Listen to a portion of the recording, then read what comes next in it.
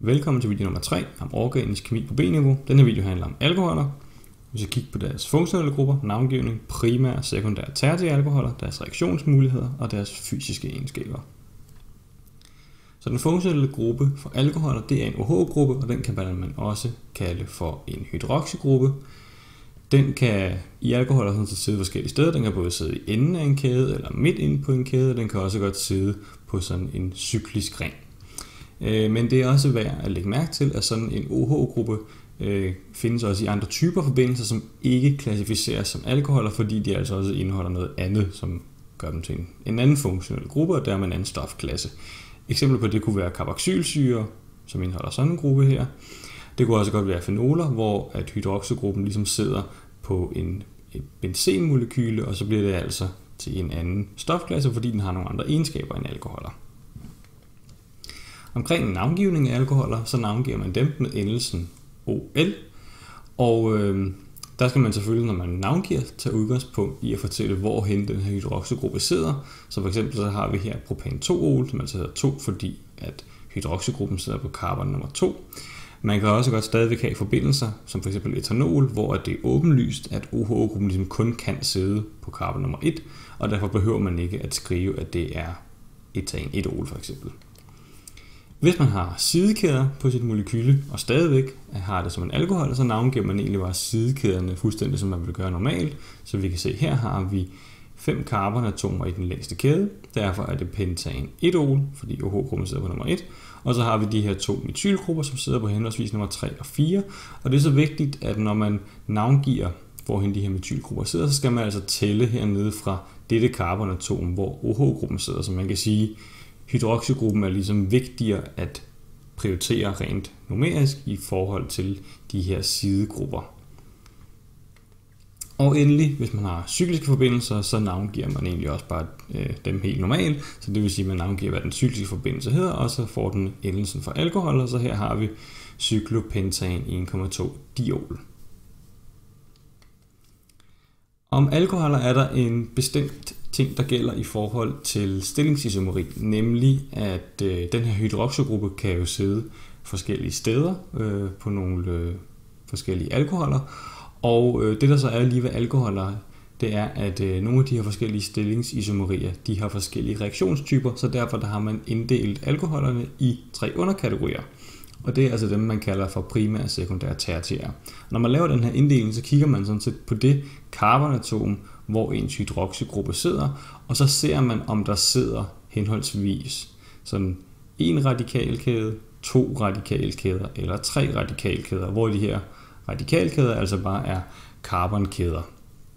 Øhm, og det er så ligesom det, som inddelingen er i. Så her er nogle eksempler på etanol, som altså er en primær alkohol, og propan-2-ol, som er en sekundær, og metylpropan-2-ol, som altså er en tertiær alkohol.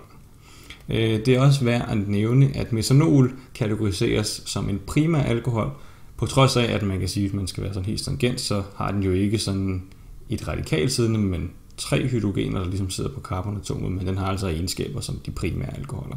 Så den tæller sig ligesom med der. Og de her øh, tre underkategorier for alkoholerne, de er særlig væsentlige, når vi snakker om alkoholernes reaktionsmuligheder med at lave oxidationsreaktioner.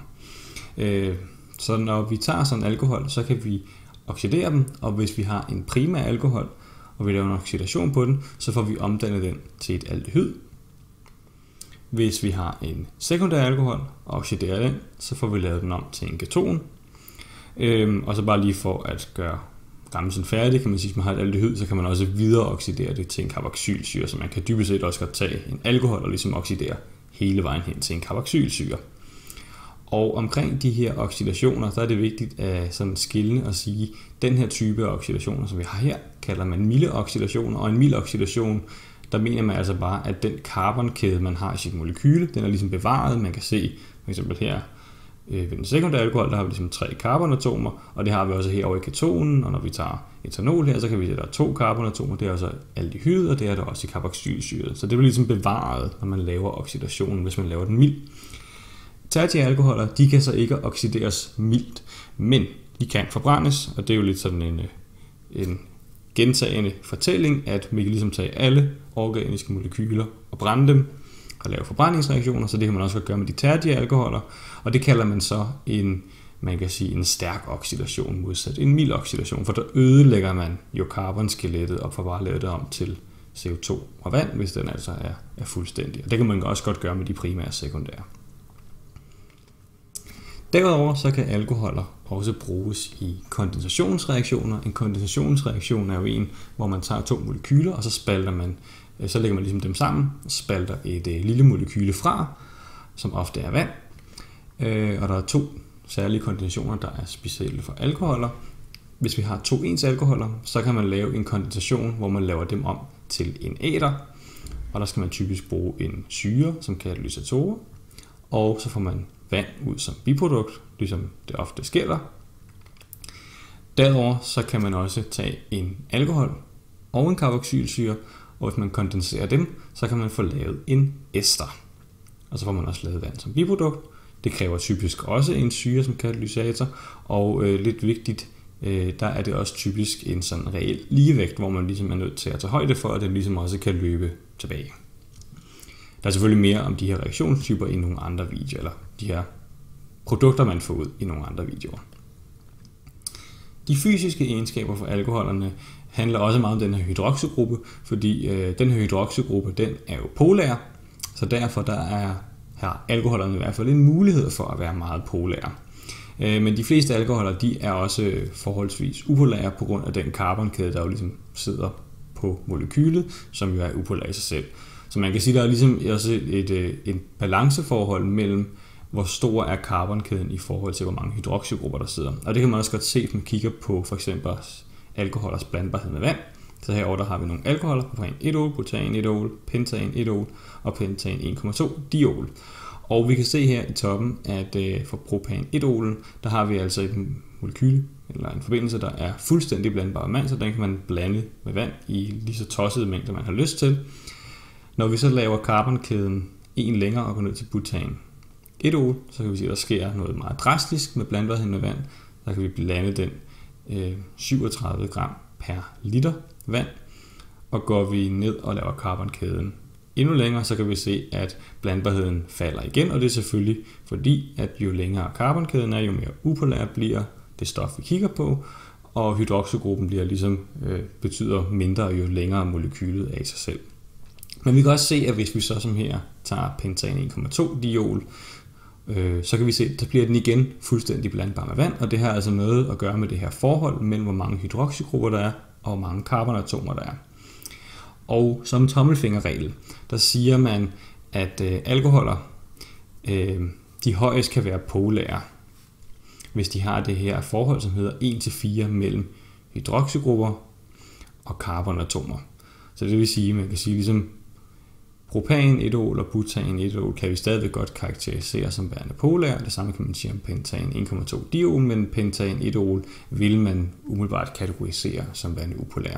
Det er selvfølgelig øh, mere fuldstændigt at kigge på den, den egentlige blandbarhedsværdi. Hvis man bare skal lave sådan et, et overslag, så er det her en meget god tommelfingerregel.